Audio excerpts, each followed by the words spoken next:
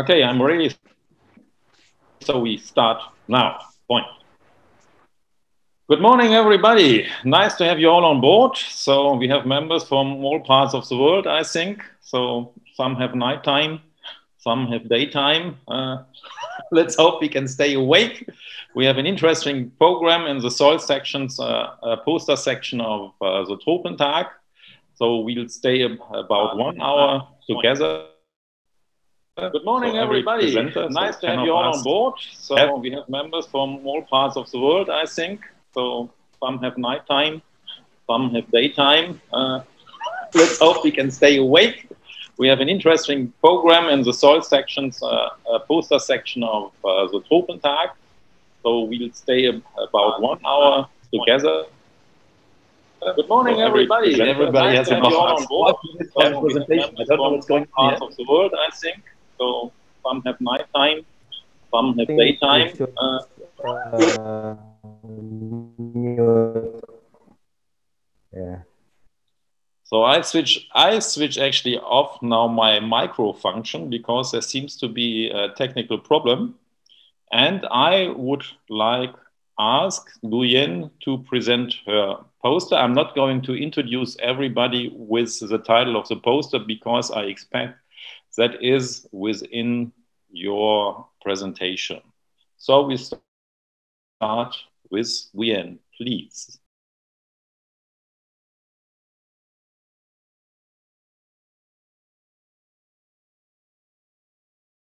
I'm Ben Nguyen from University of Oldham.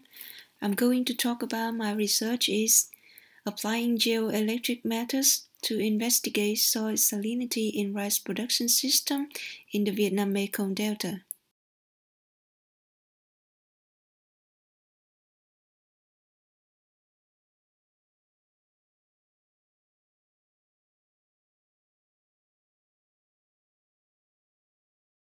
the Mekong Delta. And the Mekong Delta is also contribute for 90% of national exported rice.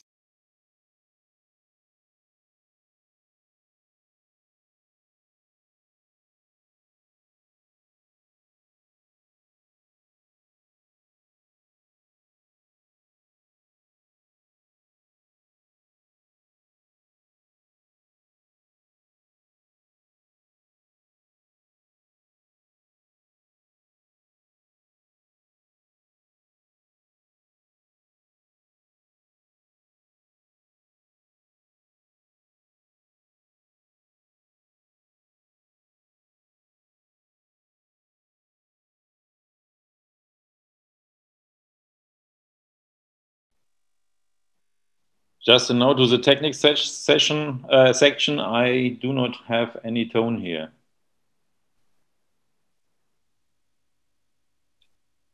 I also didn't hear any main voices from the recording. The capillary rise of salinity into the topsoil, geoelectric methods were considered. Advantages of these methods are rapid, cost-effective, and non-destructive without drilling and spending time for analysis in the laboratory. It has been applied in many fields, but there are limited applications in agriculture. Therefore, this study was conducted to investigate the suitability of two geoelectric methods to assess the soil salinity in rice production system in the Mekong Delta.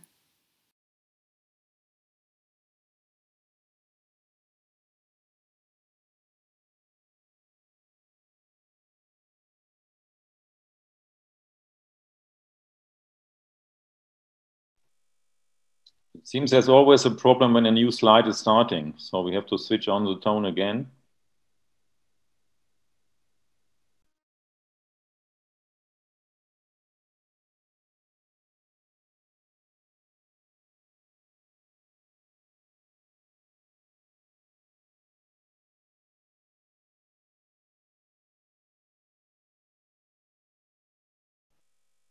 Nguyen, if the tone is not coming, then perhaps uh, you can comment directly.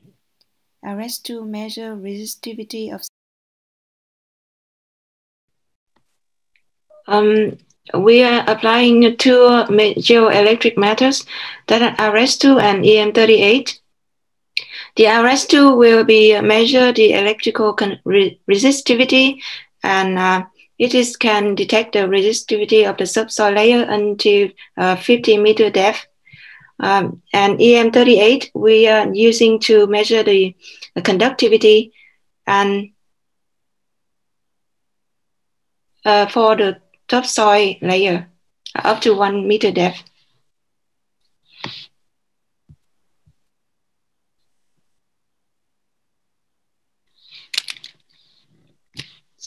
Can you change to another slide? And this is the case study in our research. That is um, one of the province in the Mekong Delta. And it is um, have a both side of the province. There's a river and the sea in the um, the southeast of the province. So it is strongly affected by the salinity gradient uh, in this area. And we measured um, the, different um, growth system uh, in the Mekong Delta. The mm, the the green the greens the greens green blue.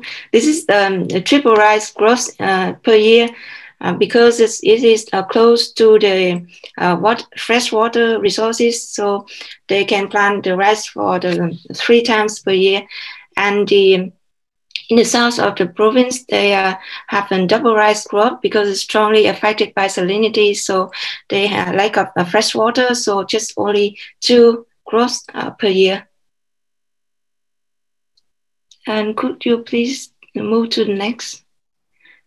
And this is uh, the results of the RS2. That is the resistivity at the, the site uh, number one that I marked. And it is uh, showed that uh, the we measure the resistivity with RS2 for different uh, electrode spacings from two meters to five meters to detect the uh, the different, uh, the widest spacing of electrode will give the, the deeper um, measurement. Well, with uh,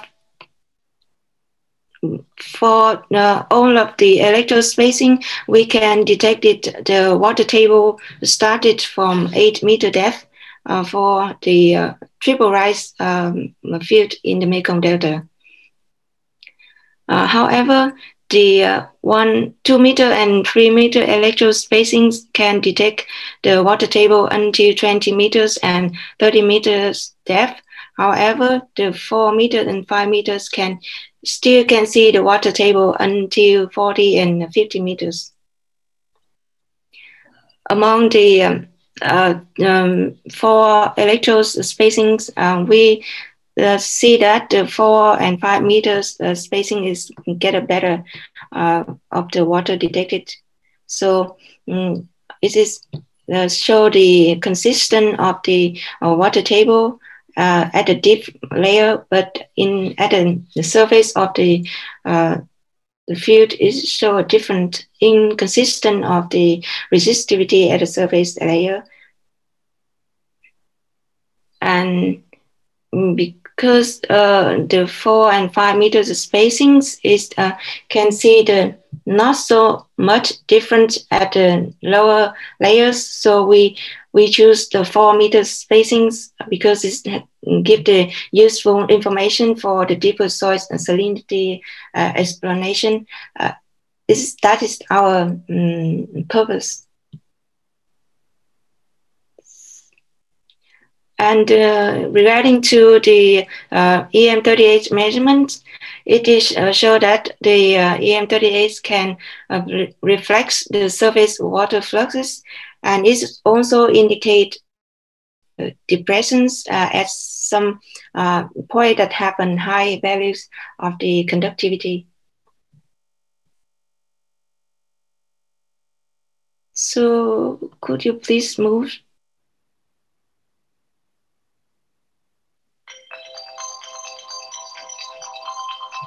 And to compare the two um, equipment, we uh, make the regression between the topsoil resistivity by using RS2 and uh, with the different uh, electrode spacings and the topsoil conductivity by using EM38. And the correlation between uh, these two is um, not st strong uh, correlation. And the RS2 tend to um, underestimate the soil conductivity by using the EM38. Please come to the conclusion. You are just over. Yeah. That, could you please move to the conclusion? And uh, to sum up with our research at um, this stage, it is um, we conclude that the RS2 with four electrode uh, spacing reliable for detecting the water table below the, the rice field in the Mekong Delta. And the EM38 for the topsoil conductivity measurements uh, do not correlate with the EM uh, with the RS2 topsoil values.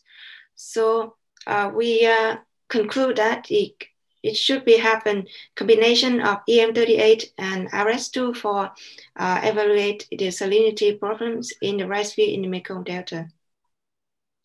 Okay, thank you very much, Nguyen, for this live commentation. I'm sorry for the technical problems, but that happens in online conferences.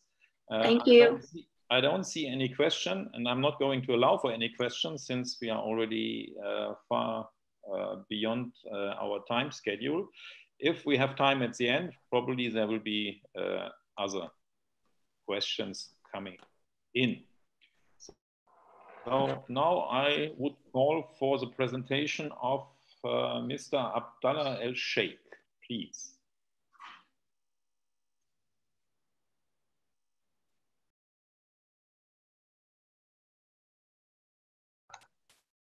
Sorry, I, I kind of designed it on a Bosta session, so Hello, this is a bit. Oh. but then you can comment online, probably. to present on behalf of my co-author our poster titled "Soil Phosphorus Availability in Rich West Amended Soil." Can you raise your voice, please? We can't hear you. Please raise your voice. This is the record already. I recorded last time. Ah, okay. Yeah. Um, understanding this behavior um, is a key for sustainable phosphorus management in the soil for high crop productivity.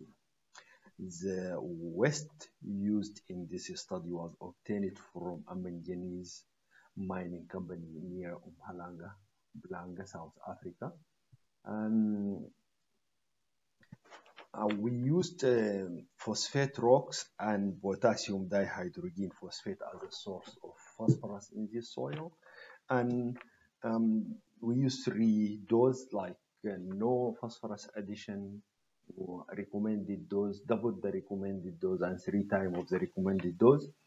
And uh, this, the mixture, the soil and the manganese waste were incubated for were incubated for 60 days, we took soil sample at 0 days, 30 and 60, and in general available phosphorus concentration decreased after the, the application of manganese waste. And phosphorus concentration in the sandy soil were usually higher than the clay soil and this could be explained by the higher um, service uh, area in the clay soil which absorb more phosphorus compared to the sandy soil and the rock phosphate um, um, or phosphate rocks has a lower um, performance than the potassium dihydrogen phosphate. And in conclusion, um, manganese rich um, manganese rich waste caused a reduction in the amount of phosphorus concentration and this could be taking in consideration when we are growing plant in the in manganese rich soil by um, add more phosphorus more than the uh, ordinary dose. And also further research is required to mitigate manganese rich waste um, such as phytoremediation techniques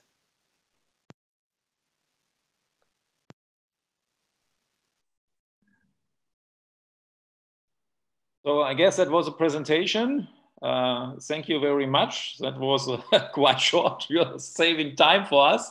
That's very kind I of think, you. I think, as I understand it on the guideline, that I have to speak for three minutes. So yeah, I that, that's that's true. So every, everything is fine. okay. I don't know whether you have an additional comment. Otherwise, I would I would ask uh, since I don't see any question here in the section.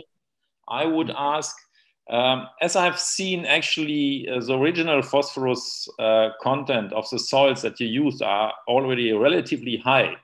Mm. So, uh, why do you think that here now uh, you should additionally add uh, phosphorus?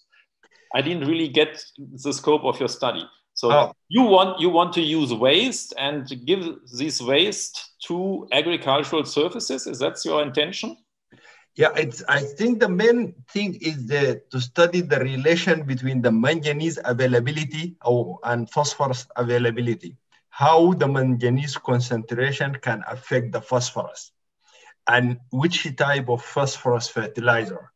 Is it the same if you use like rock phosphate or potassium dihydrogen phosphate? And But the soil type. Mm. But before you come to the phosphate question, the question would be whether uh, you have manganese toxicity that Mm. becomes a problem. So I think the first thing to analyze would be actually the manganese availability, isn't it? In the soil. Yeah. Yeah, Because uh, yeah. that's the first problem. If you if you get mangan- manganese toxicity, then you do, do not need to care for the phosphate. yeah, yeah, exactly. Okay. Yeah.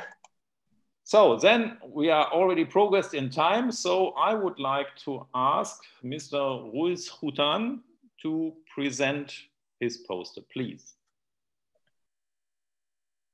Uh, okay, I think that uh, the video is so. bro-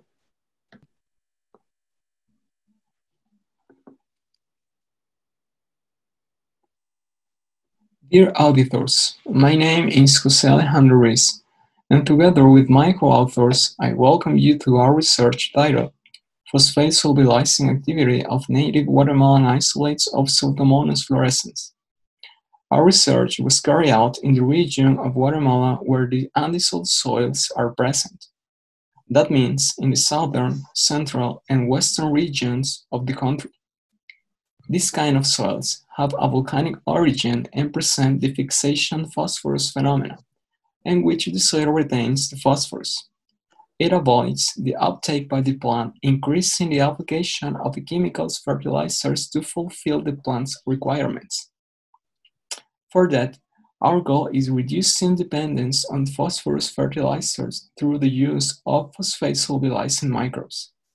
In this case, we evaluated Pseudomonas fluorescens bacteria.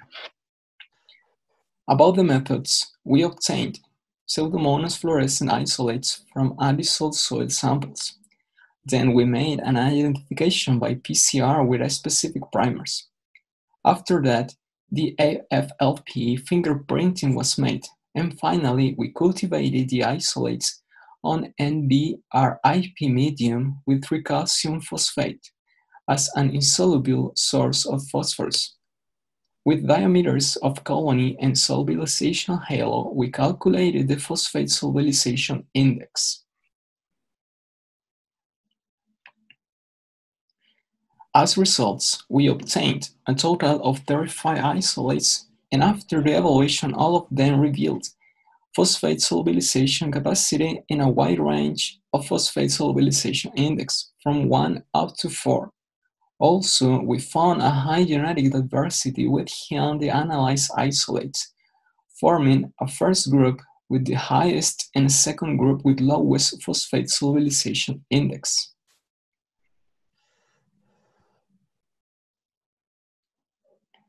Isolates from the central region exhibited higher values of phosphate solubilization index, while isolates from the western region showed lower values of phosphate solubilization index. Because the relation between the isolates and its origin, we assume that as higher the fixation of phosphorus in the soil, higher the activity of the microbes. About solubilization stability, we did not observe a defined pattern after the reseeding of the isolates.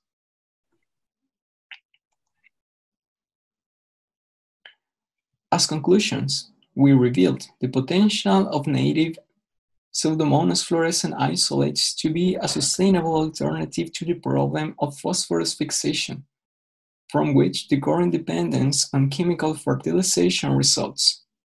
With this, we hope to bring a friendly environmental option to the farmers and reduce the risk of the environmental pollution. It is also important to mention the advantage of local adaptation of adaptive isolate to biotic and abiotic factors like the relation with other soil microorganisms, soil humidity, temperature, and others. We recommend further studies to evaluate the efficiency of the native isolates under field conditions. Thank you very much for your attention, and I'm looking forward for your questions.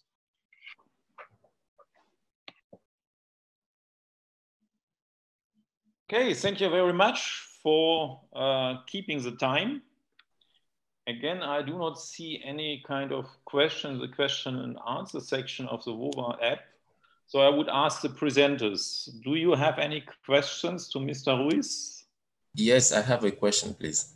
Please go ahead.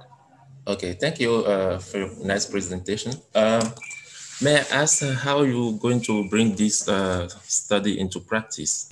uh, as might know, Pseudomonas is, uh, could be pathogenic to plants. And if you want to apply Pseudomonas practically in the field to be able to solubilize phosphate, how would you control the, this aspect, for example? Thank you. yeah, okay.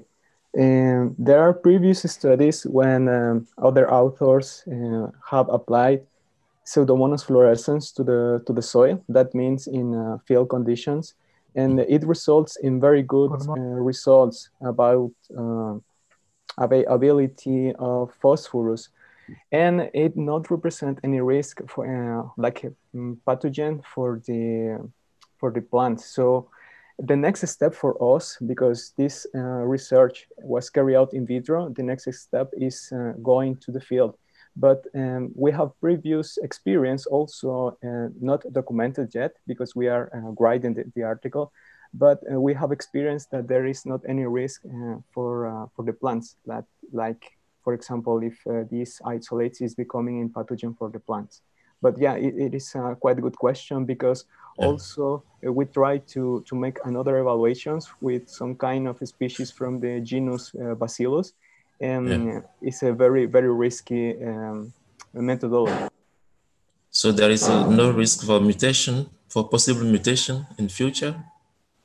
Mm, I think that uh, that's the reason why we need to make some evaluations on field, and um, okay. our proposal maybe is to make this uh, evaluation in pots, for example, mm. and then we can uh, uh do it in greenhouses before to do it the, the, the field work completely. Okay, thank, thank you very you. much. We have to continue. Uh, so I would like to call the presentation of Mr. Iqbal, who is present, I see.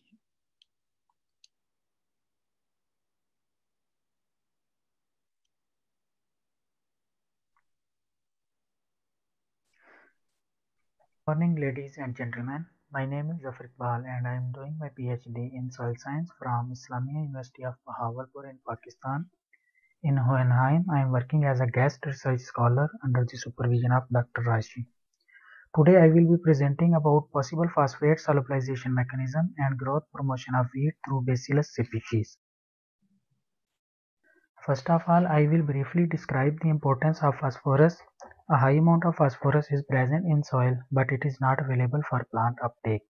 Secondly, about 80% of applied phosphatic fertilizers becomes unavailable as they bind with calcium and magnesium. Therefore, the availability of phosphorus has been a major challenge for scientists working in sustainable agriculture. We can increase the availability of phosphorus with the help of bacteria, but the question is how bacteria solubilize phosphorus that is what I will be talking about today. Moving on toward hypothesis, we assume that excretion of organic acid and enzyme activities of bacteria helps in phosphorus solubilization. Moving on toward objectives, which is identification of enzymes and organic acid in the presence and absence of tricalcium phosphate. For this purpose, bacterial strains were isolated and characterized for phosphorus solubilization in Pakistan. During 8 months in Germany, I am working on the mechanism of phosphorus solubilization. Bacterial strains were grown in presence and absence of tricalcium phosphate and following parameters were measured which majorly include ALP gene expression, secretion of organic acids and solubilized phosphorus contents. All of this brought us toward the following results. All the strains showed different growth behavior in the presence and absence of tricalcium phosphate which you can see in the figure on the left side. All these strains reached a stationary phase at fifth day of incubation in the absence of TCP while they grew up to the seventh day in the presence of TCP. Secondly, all these strains showed amplicon for ALP gene. This means they have the ability to control alkaline phosphatases activity in rhizosphere which stimulate root growth and excretion of organic acids. Moving on toward the next results, you can see in the top left figure strain ZD15 solubilized maximum phosphorus followed by ZD32.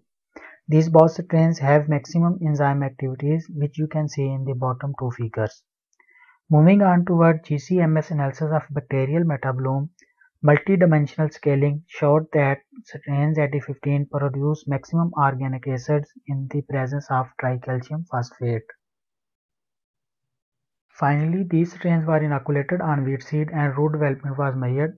Maximum root growth was observed with strains ZR3 while the maximum seedling dry biomass was measured with strains ZD15. To conclude my presentation, we found out that strains ZD15 produce maximum organic acid having highest enzyme activities and maximum solubilized phosphorus contents.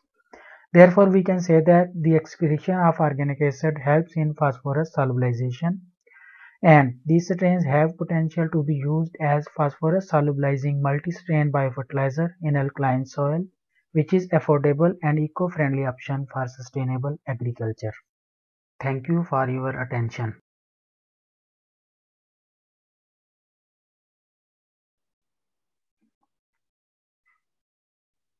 Again, thank you very much for keeping the time. That was perfect. A little bit fast for me, but probably the others are younger and can receive this information better than me. So again, I don't see any questions from the crowd. So then I ask the presenters, do you have any questions to Mr. Iqbal? I don't hear anything, then I would pose a question. Uh, if we believe in chemistry, then actually the pKs value of organic acids is too high in order to solubilize calcium phosphates. So the organic acids alone cannot be the reason that we get solubility of the uh, phosphate. So what is the reason then? Actually, uh, I can't clearly understand uh, your question, but uh, uh, there is not in, organic in, acid. In easy yeah. words, in easy words, if you apply pure I, organic acids to rock phosphates, for example, to calcium phosphates, you're not going to solubilize it. You can test that that has been done several times.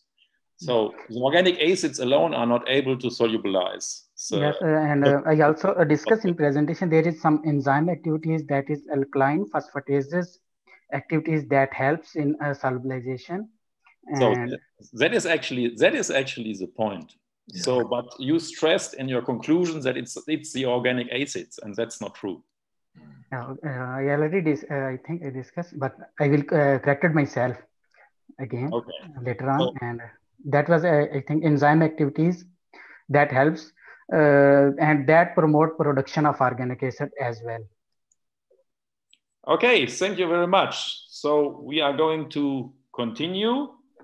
Uh, the next person to present would be Ehsan Kane. I didn't see in, in, in the presenters board. So I don't know whether I would like to ask the technique section, whether we have a presentation from him available.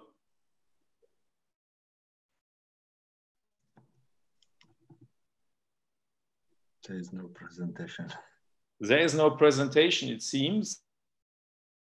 So then we we skip him from the presenters list. Then the next one would be Esaye Padonu. Sorry if I don't pronounce it right. There are so many different people from different countries, and I'm not perfect in all their languages. There should be prediction of soil erosion under three tillage systems. So everyone, we have my name presentation, so please go ahead.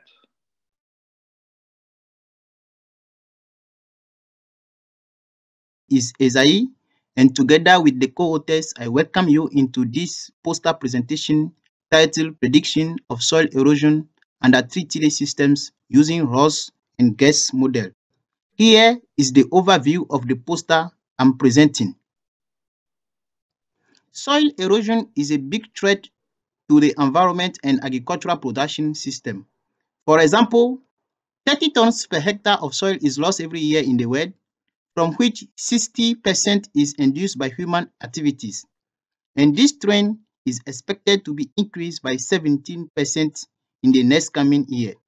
So, it is very important to find sustainable practices that can be used to reduce soil erosion. In this study, we quantified soil erosion from three tillage systems. These are flat tillage, ridge and furrow, and tied ridge tillage. And we predicted soil erosion using Ross and GUEST model. To do that, we set up experiments using lysimeters, and we use maize as test crop. We try to mimic the three different tillage into the lysimeters. Here is the flat tillage, followed by the ridge and furrow, and the third one is the tied ridge, where we can see the tiles that conserve rainfall water within the soil. From this setup, we collected runoff water in this gallon, and we collected the direct soil loss using these collector systems. For the prediction, these two equations show the basic principles behind the two models we use. The most important thing we did here is to link the runoff water we collected into the two models. We use the mean absolute error to evaluate the two models. When this index equal to zero, it means the model is perfect. The results show that rainfall during major season was double what of minor season, and the runoff was higher under ridge and furrow, followed by flat tillage and tied ridge tillage. Subsequently, soil erosion followed the same order, and tied ridge reduced soil erosion up to 43 to 100 percent. And this trend can be seen in these two graphs where ridge and furrow is very high and tied ridge very low. Ross and GUEST models adequately captured the effect of the tillage on soil erosion. The predictions were much better for minor season, tied ridge, and flat tillage with mean absolute error equal to 0 and 0.3 respectively. In conclusion, soil erosion varied with rainfall pattern, and it is greatly affected by tillage practices. That is why tied ridge tillage significantly reduce soil erosion and can be used as practice in the field to reduce land degradation. Ross and GUEST models can be applied for soil erosion simulations from the three tillage system for future studies. Thank you very much for listening.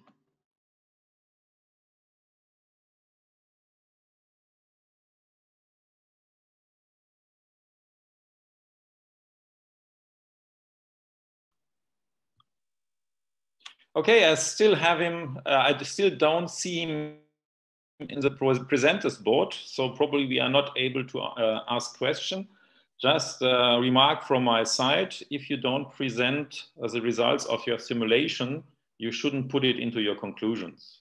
Yeah, so here we have seen conclusions that are not justified, at least not from the content of the poster itself. Okay, otherwise tied ridging is known to reduce uh, erosion efficiently. So that is actually uh, something that is documented by other research results. Any comments from the other presenters with respect to this uh, erosion study? I was just wondering about the flat tillage. Does it mean the zero tillage or is it something else like the, what is the flat tillage? So I actually I would I would have had the same question as you. Yeah, I'm, I'm I was not really sure what what that actually meant. What is the flat tillage? Yeah, it's, it's Okay. a very new term for me. Yeah. Okay. So then we are going to continue to the next uh, presentation. And I'm happy that Mr. Diogo is present. So I ask you for your presentation, please. Thank you very much. Uh, let me share my screen.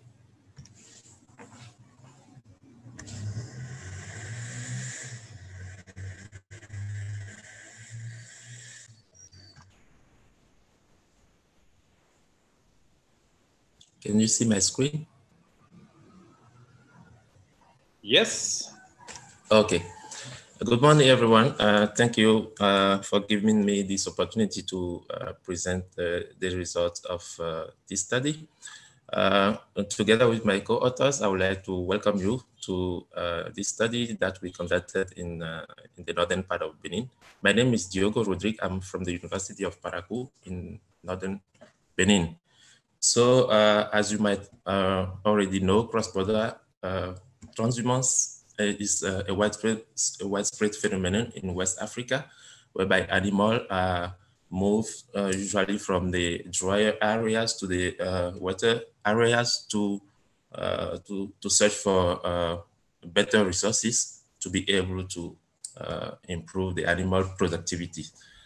However, um, Benin is uh, uh, every year receiving a high number of animals, which is estimated to be more than 2 million of cattle herds that uh, uh, are usually trucked from the Sahelian region to, towards the West African coast.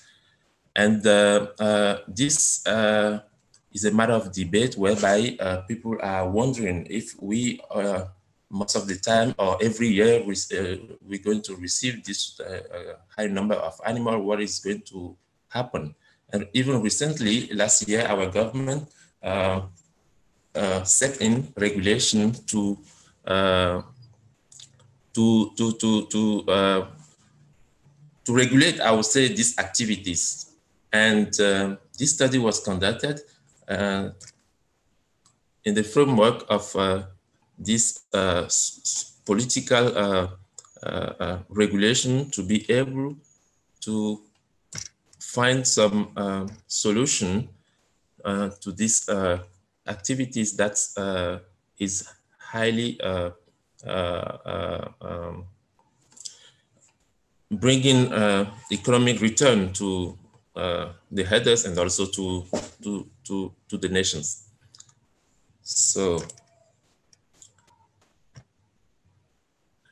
what we did is that we we we chose two different uh, sites where we we wanted to to evaluate the effect of uh, transhumance and of vegetation type, as we assume that uh, this activity may may disturb the uh, the soil, and also uh, many people think that transhumant uh, cattle are degrading the environment. Therefore, we chose two municipalities in the northern part of Benin whereby we uh, we try to evaluate the vegetation types that are prevailing. We have uh, three types of vegetation type in the, these two municipalities that were chosen in the northern part of Benin.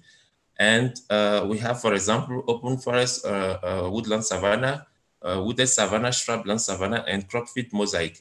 So we chose two, uh, within those two municipalities, we also chose two areas. One is known to be highly frequented by cattle herd, which we call uh, strong transhumant zone. And the, the second area was known to be uh, a, weak transhumant zone. Uh, normally, it's an area where animals are not uh, allowed to graze.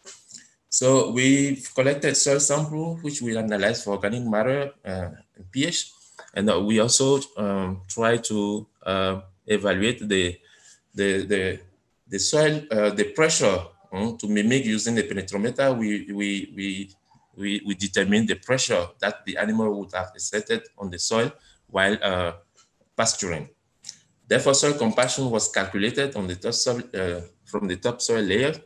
And then we compare uh, this data in the two zone and also to see whether vegetation types could have significant effect on these variables that we've measured. As you can see from the result, uh, the vegetation type and also uh, transhumance zone have, have a strong influence on the soil compaction. Moreover, we found that uh, the vegetation zone significantly influences the uh, organic matter content of the soil. But most interestingly, we did not find any effect of, transhumance, uh, of transhumance nor from vegetation type on uh, uh, influencing the soil pH. So uh, what we conclude is that in northern Benin, transhumance affect soil compaction, but do not affect its fertility. It is true that we did not determine all uh, soil fertility parameters, but we use the key, uh, some key indicators that are very relevant that could uh, indicate the soil health. Animals, uh, therefore, we recommend that animals should be strategically managed on rangeland to avoid soil compaction. Vegetation type affect soil compaction as uh, uh, we've seen from the result that the organic matter content strong, uh, uh, varies strongly according to vegetation type. So we recommend that further studies are needed to evaluate appropriate carrying capacity on rangeland and the, to also evaluate the role of manure deposited in, in soil health improvement. Because we think that if manure that is deposited by the animal during the, uh, the, the grazing could substantially help contribute to improving the organic matter content of the soil. Thank you. Okay, thank you very much. You have been uh, in time. We have time for one question. I don't see any questions from the crowd. So again, I ask the other presenters, do you have any question to Mr. Diogo? Is I do have. I guess, yeah, it is. It is just a very short one. I just wondering what is your reference, like what is the control? What are you comparing to? Okay, thank you. In fact, the uh, the, the reference site is the, the site that is uh, uh, uh that is being known to be uh, transhumance prohibited. I mean, there are areas that animals are not supposed to graze, and these areas are well known. And the oh. other areas is uh, because usually in the transhumance in the transhumance areas they use corridors where animal can use those corridors to to uh, to graze on pasture. But in the other areas, they are not certainly fenced areas, but then there are open areas where animals uh, are not normally supposed to graze. And how is the stocking rate? Is it non-stocking rate for the livestock? Yeah, the stocking rate is uh, usually high. Uh, it depends. It depends on the head that are, are, are, grazing on the area. In the head, you may you may have sometimes up to hundred or even more than hundred uh, uh, head of cattle in one herd. So uh, this is not really uh, strongly regulated because uh, it depends on the the purchasing power of the owner of the head and also of the header that is conducting the head. So, uh, so far there is no strict regulation that uh, uh, uh, uh enforce the law to say that uh, shouldn't have a, a, low or medium or high amount of cattle in the herd while mm. pasturing. Yeah, okay. Hmm. Thank you. Thank you, okay, thank you yeah. very much. We have to You're continue. Yeah. And I'm happy that Mariko Ingold is with us and we are looking forward to your presentation. Thank you.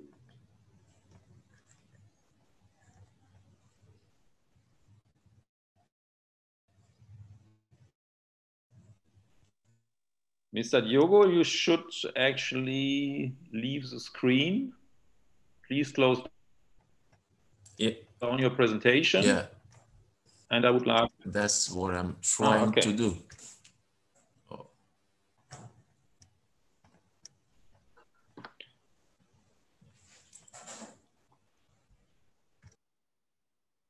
Mrs. Ingold, did you upload the presentation? Yeah. Okay, here we are. Okay. Welcome to this short introduction of our poster with the title Dietary Tannins Reduce Soil Respiration After Goat Manure Application on an Irrigated Sandy Soil in Oman. Irrigated agriculture in the subtropics is characterized by high gases, carbon and nitrogen losses due to favorable conditions for soil microorganisms.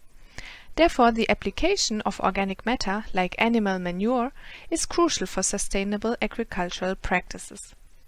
Tannins present in many browse species can stabilize organic matter in manure of animals feeding on them. Therefore, we investigated if dietary tannins affect soil respiration after fertilization of radish with goat manure. To this end, we conducted a two-year field experiment in Sohar in Oman to measure carbon dioxide emissions from soils fertilized with manure. The manure was collected from male goats of a local breed, fed a basal diet, without feed additives or with 3.4% quebracho tannin extract. Urea served as a mineral fertilizer control. Here in this table you can see the carbon and nitrogen application rates in kilograms per hectare. Gas emissions were measured using a photoacoustic multi-gas analyzer connected to a closed chamber, which you can see on the picture here.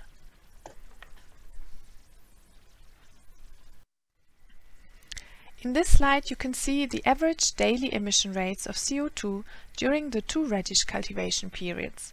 The mixed model ANOVA across both seasons revealed significant differences between all fertilizer treatments, with lowest soil respiration from mineral plots, indicated by the black symbols, and then slightly lower soil respiration from the quebracho plots, indicated with red line, compared with the control.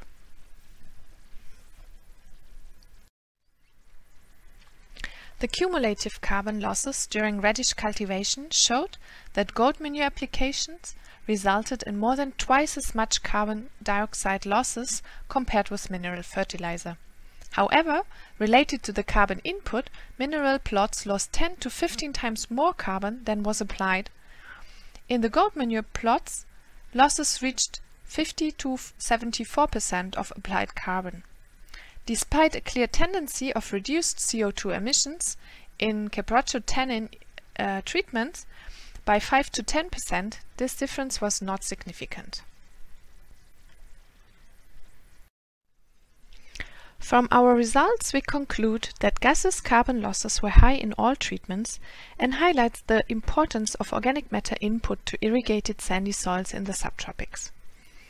Feeding of quebracho tannins reduced carbon losses, thus stabilizing organic matter in manure, although the overall effect was relatively small. Results on gaseous nitrogen losses, which might be more affected by the protein-binding tannins, are underway. Thank you for your attention and I'm happy to answer your questions.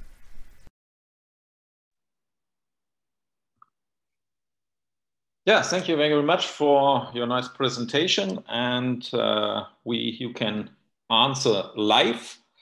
I don't see questions from the crowd coming in. So I ask the other presenters, do you have any questions?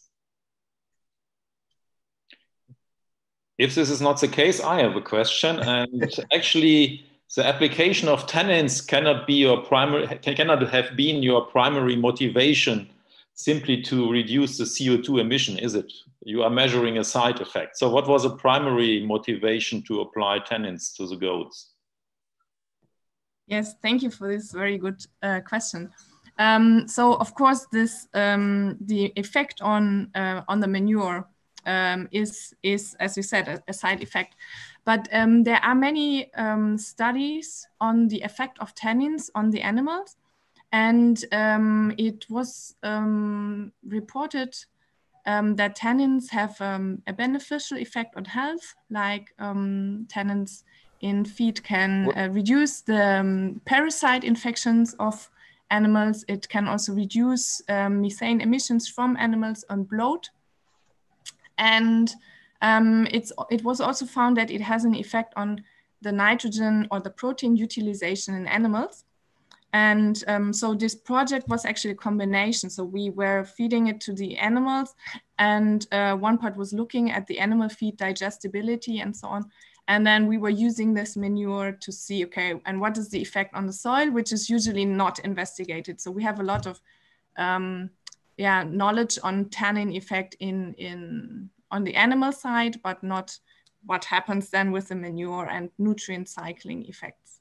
And of course, usually you would not feed a tannin extract. This was for um, yeah scientific um, purposes because we needed um, um a, a, homogeneous product, but usually the animals would browse on tannin containing um, species like acacia or so, and so on. Yeah. Okay, then, then I would ask an additional question that is what was the effect on the methane emission? Because uh, methane is a much more influencing uh, greenhouse gas. So could you reduce the methane emission? Uh, actually, this was not measured because um, hey. ah, yes, that uh, would have been very interesting. Um, but the um, project side on the animal side, we're really focusing on the the digestibility and um, the device which we use to measure in the field, it's very practical because you can have directly effect uh, results in the field, but it is um, unfortunately not useful for measuring methane. Yeah, it's only for carbon dioxide emission, right? Yeah. Okay. Good. So thank you very much for these answers. So we come just in time to the last presentation, and I'm glad that we have Mr. Yunanto with us. So we are looking forward to your presentation. Thank you.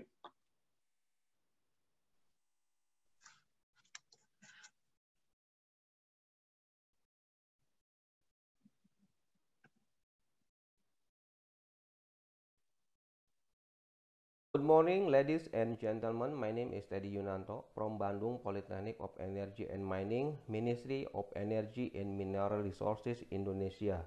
Today, I would like to present my paper entitled The Potential of Cultivating Fruit on X-Men Soil in Indonesia. My team consists of Ms. Parisatul Amanah, Mr. Dodi Herika, and me.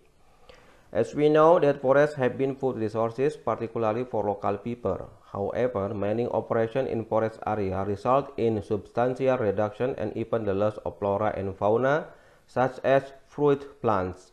To restore the forest function, mine reclamation is conducted and fruit plant can be cultivated although the soil is in a poor condition. The study therefore aims to review the potential of cultivating rambutan or Nephelium lappaceum on X-Men soil in comparison with the guideline online suitability assessment provided by the Ministry of Agriculture. The study was conducted in Bindungan site PT Braukal, East Kalimantan Province, Indonesia. PT Braukal has cultivated rambutan since 2005 in more than uh, 1,000 hectares with three cultivars. The study started by soil analysis in Bindungan site to test the suitability for rambutan cultivation on ex-mining land. The soil sample were taken in six locations with different age of mine reclamation. The sample were taken from 0, 30 and 30 to 60 cm depth. Some parameters then test such as pH, organic carbon, and potassium, etc. Afterward, the soil quality was classified based on the guideline on land evaluation for agricultural commodities, particularly rambutan, by the Indonesian Ministry of Agriculture. From the figure 2, we can see that the pH in six location had very low value below 4.5. And overall, the result of this analysis show that the soil had low fertility rate. Based on the guideline, this X-Men soil is classified as S2 It means that the soil has limiting factor and that affect productivity and require additional input by farmers. From this study, we can also understand that also X-mine reclamation site has lower soil quality, but is improving due to proper reclamation maintenance to be productive land. The intensification process such as fertilization, proper cultivar selection, etc. has to be conducted in order to improve the soil quality and fruit production. And from this study, I want to highlight that there is an improvement on soil quality in reclamation through years so that it's become better. Afterward, we want to endorse that X-mine reclamation also can be productive land again. It is possible to restore the X-mine reclamation to be a forest and food resource for both local community and animal. Thank you.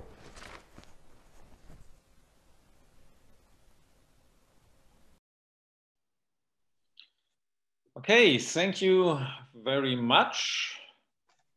Again, I don't see any questions from the crowd. So again, I'm going to ask the other presenters whether they have a direct question to Mr. Yunanto and his results. This does not seem to be the case. So again, I'm going to ask what kind of mining actually had been done on these uh, places. So what has been mined Mr. Yunanto. Uh, this is the coal coal mine company, coal mining company. So yeah. they conducted with the open pit mining method, let's call it. So they, they took the coal community, so they removed the soil. So remove the soil, but unfortunately the topsoil and subsoil already mixed, mm -hmm. already mixed. And after that, so if they want to do the post mining, or we call it reclamation, they only put 50 centimeter per soil. And then they plant the, this uh, this uh, fruit plant, we call it uh, rambutan, something like that. Mm -hmm. Actually, you could have shared some rambutan with us, isn't it? Actually, I saw you in the little bit uh, small picture in the poster, but that small picture. what I what I wanted to ask is actually uh, have these soils been actually mixed with mining residues or not? No, no, no. The only mix between the topsoil and subsoil. Ah. There is no residual from mining to uh, mix with the soil. So we, we can assume more or less that it is a kind of natural parent material for soil formation. It was, was, was mixed by replacing it and putting it into another place that's the case? Yeah, yeah, something like that. Yeah, yeah, that's the case. Okay. Thank you very much. So we have 9.59. So uh, actually we are at the end of our session. I would like to thank you all presenters for keeping the time. I'm apologizing for any kind of technical problems that uh, we had. And I wish you a nice continu continuation uh, uh within the Tropentag. Uh, actually, I'm on vacation now, so I'm the best off. So have a nice time and hope to see you somewhere again. Goodbye. Okay.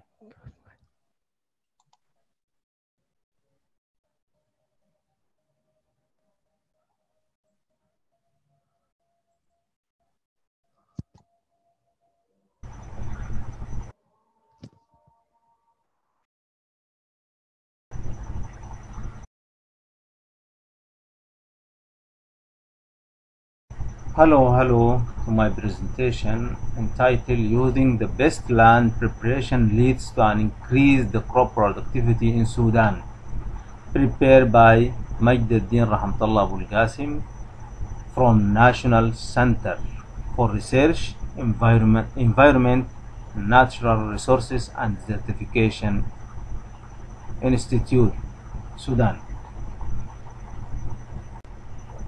Introduction here I will give you some definitions for the land preparation. Land preparation is the one of the most important operation for agricultural mechanization and the most expensive operation uh, consuming high cost of tractor power. tillage practice is modifying the state of the soil in, in order to provide suitable condition for the plant growth. Conventional tillage or over tillage may increase the risk of water loss and soil erosion by wind and water.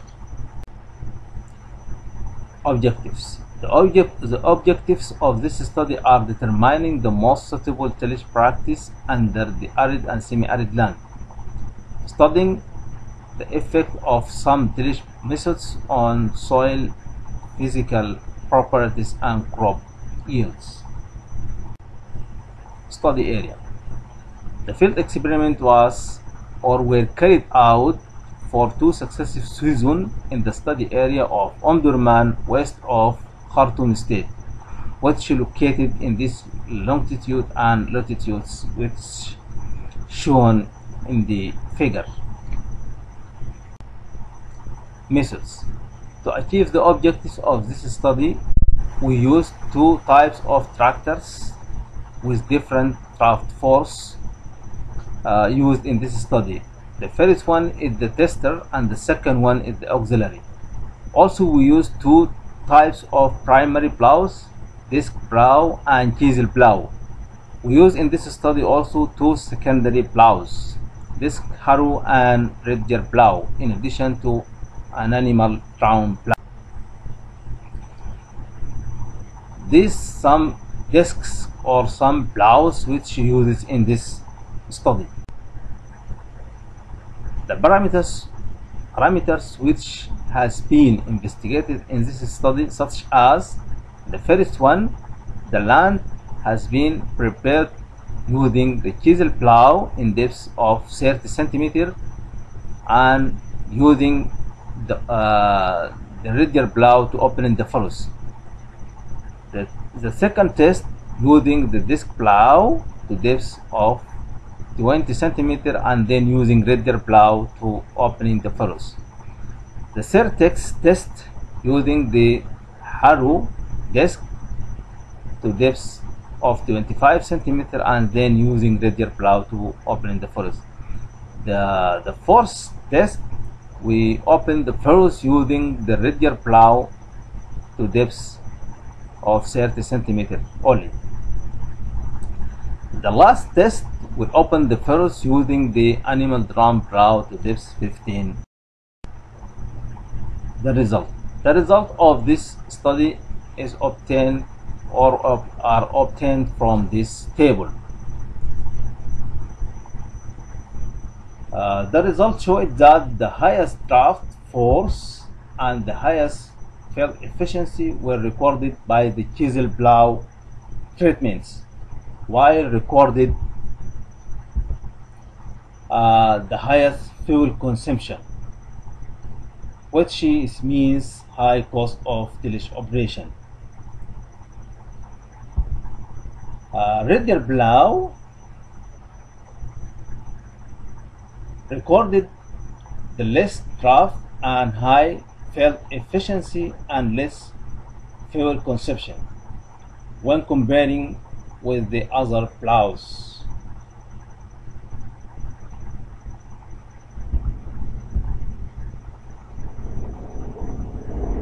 The result also showed that the animal drawn plow recorded the minimum field efficiency without fuel consumption.